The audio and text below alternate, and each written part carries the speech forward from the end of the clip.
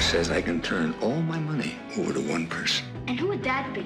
Me! Forget it. They don't deserve anything. Uncle Joe is a multi multi millionaire who just might be dying.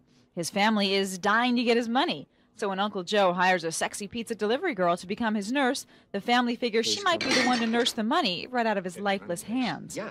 They bring me into the family in order to kind of, you know, kind of get Uncle Joe excited about the family again. And um, I look around, I think they're all pathetic. I think he's borderline eccentric and possibly evil. And the whole thing is insane.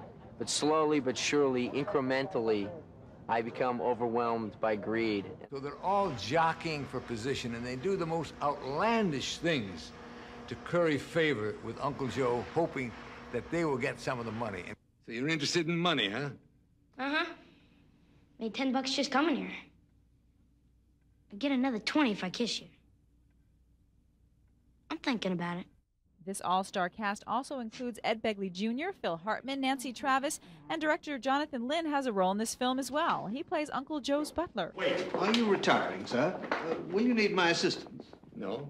Molly will uh, assist me. Oh, I see. Very good, sir. All of the actors say this project was truly a blast, even though many were a bit intimidated mm-hmm. working with a veteran star like Kirk Douglas. The first day I met Kirk Douglas, I was so excited, and I said, Mr. Douglas, this is such a thrill for me. And he's such a nice guy. He said, Please, Phil, it's Mr. Kirk Douglas. He's amazing, and he's, he's, when all is said and done, besides being just a legend, he's a really gifted actor. Then there are the other actors who might let the name of this film go to their heads a little bit. Michael J. Fox has a rather grand trailer. I- have got a 120 footer. It has a hot tub and a paddleball court. Uh, and that's plenty.